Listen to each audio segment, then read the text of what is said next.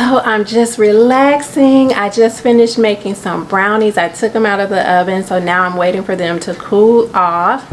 And I was thumbing through Netflix. I did a search for sewing and a show came up called Next in Fashion. I'd never heard of it before. So I put that on, but I haven't really watched it because I was up and down, you know, making the brownies back and forth in the kitchen. So I'm gonna have to rewind this and see what it's about. But from what I gather, it's a little bit like Project Run Runway. so I think it should be interesting. I don't know if you've seen it before. If you have, do you like it? You know, what do you think? I have a new sewing make to share with you, so I will tell you all about it coming right up. So I am about to start working on Simplicity 9380. I want to make view C with the sleeves from view B. I looked ahead in the pattern and I noticed that the sleeves for view B have a dart at the very top. So that should be interesting. I had some scrap fabric in gray. I purchased this fabric here to make the dress in view C. But when I realized that I had some scrap that was also like a light pastel kind of color, I thought maybe the two of these colors would look cute together.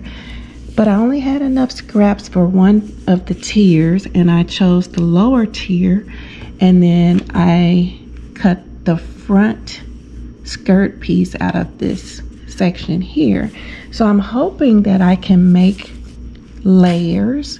So like I can have this mint green and then have gray in the middle and then another mint green and then a little bit of gray at the bottom because you have to cut out three pieces of the lower tier ruffle but I only had enough for one piece. So I'm going to try to gather this enough that I can make it go into the front of the dress. So anyway, long story short, I'm gonna see how this turns out.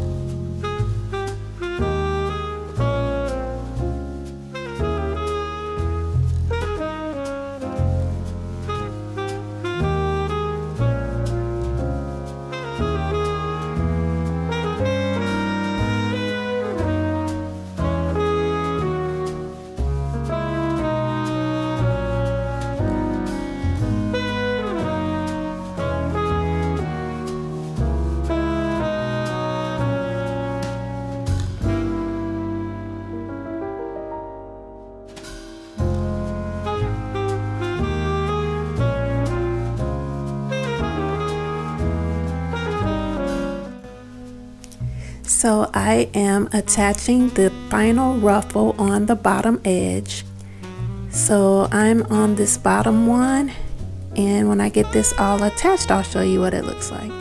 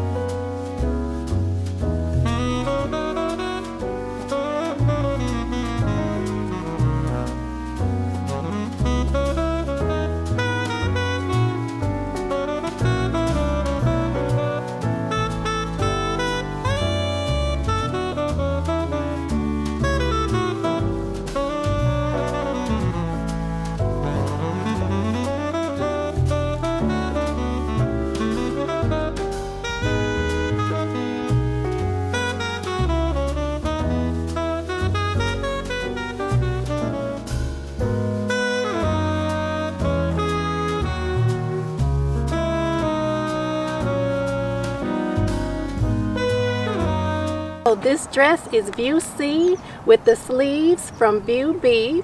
It does have the three tiers, the dart in the shoulder, and the sleeves are actually long. They do kind of pull at the end of the sleeve by the wrist area. I did hem the sleeve by an inch and the sleeves are still a little long so they create like a little gathered look at the end which I actually like so the other day our power went out at home and in trying to find out whether it was just our power or whether the power was out in the neighborhood we were talking to the neighbors I heard someone say that we were having a brownout, and I was like, brownout?